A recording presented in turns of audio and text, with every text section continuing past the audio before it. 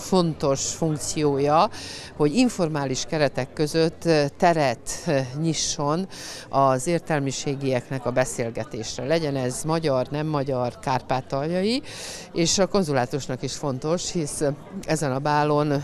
még egyszer mondom, informális körülmények között és lehetőségek között nagyon sok témára sor kerülhet megbeszélés kapcsán. Egyébként meg, hogy a Kárpátai Magyar Kulturális Szövetségnek sikerült elérni közösen a konzulátussal, hogy visszakerült az udvarra, vagy ide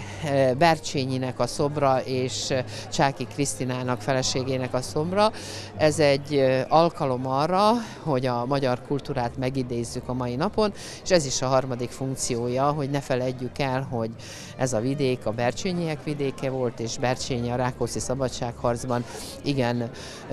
jó barátja is, leghűségesebb társa volt Rákóczinak, kivette a részét ebből a magyar küzdelemből, és ez az üzenete legyen minden éven egyszer szem előtt, nem csak az ungiaknak, másoknak is.